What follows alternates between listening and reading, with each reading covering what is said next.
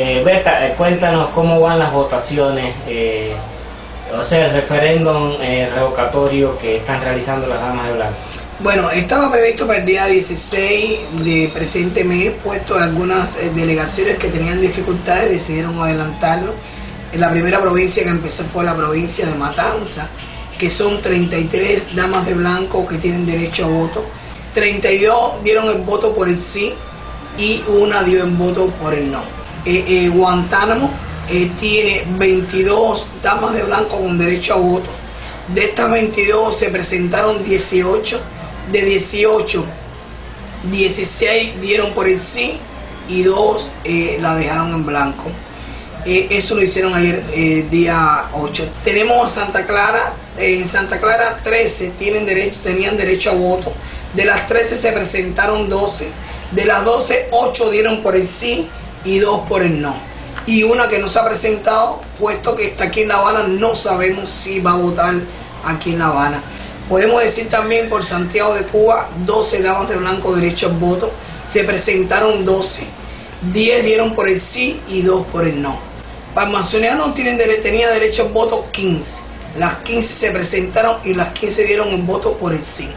Vayamos 6 damas de blanco derecho al voto. Se presentaron 5. 5 dieron por el sí y una no se presentó. Tenemos el caso de eh, Holguín que hoy, precisamente día 9 eh, de marzo, hicieron su votación 28 damas de blanco con derecho a voto. Se presentaron 27. De esas 27, 22 dieron el sí. 4 votaron por el no y una la dejó en blanco y una que no se presentó. Tenemos todavía pendiente Ciego de Ávila, Pinar del Río y La Habana.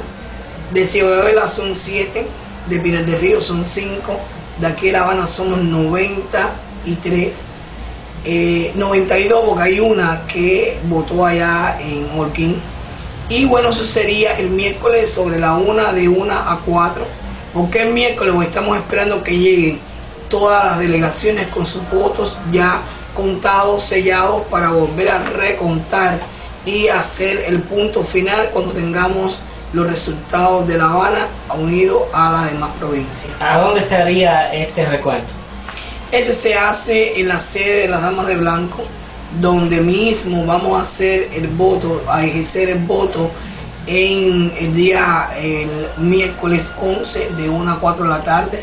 Ya a partir de las 4 de la tarde vamos entonces a hacer el recuento y vamos a dar el punto final. Cuando digo vamos, son todos los observadores que están presentes y que quieran participar. Hemos invitado a muchos, incluso hasta la prensa acreditada, la prensa, eh, independiente aquí en Cuba. Y es muy importante la claridad y la limpieza a la hora de este voto democrático. Yo en este momento me siento contenta porque hay no, hay boletas anuladas y hay boletas eh, en blanco. Y cuando hay un voto secreto, eh, se ve que se está practicando la democracia, que cada quien va a elegir o a votar por el sí o por el no, anularla o dejarla en blanco según entienda en, en diferentes lugares donde hay delegaciones de damas de blanco. Hasta ahora, eh, ¿cuál ha sido la, cuál es la, la, la puntuación eh, Bueno, general? Hasta ahora tenemos 108 sí, tenemos 9 no, tenemos 2 eh, eh, eh, dos anuladas y tenemos 3 en blanco. Este es el resultado que tenemos, todavía estamos pendientes. Eh, la unión de Pesigo de Ávila, La Habana y Pinar del Río somos 105 mujeres que son las que faltan por ejercer su voto. Eh, tenemos mujeres enfermas que si desean que se les lleve a su casa pudiera moverse una de la representación de las damas de blanco con alguno de los dos, con dos observadores. Si alguien eh, necesita o quiere que le lleven a su casa porque quiere ejercer el voto.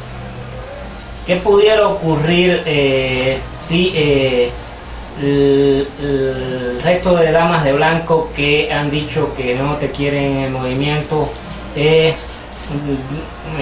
dijeran que no están de acuerdo con, con la puntuación a favor tuyo?